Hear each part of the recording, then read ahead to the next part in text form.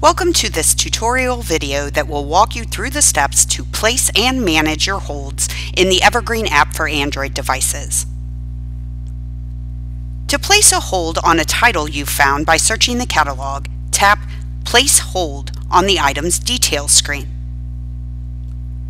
Next, verify that all of the hold information on this screen is correct, then tap Place Hold.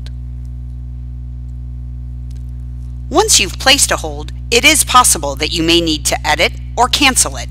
To do either of these, begin by tapping Holds on the home screen. Next, tap on the title that you want to manage.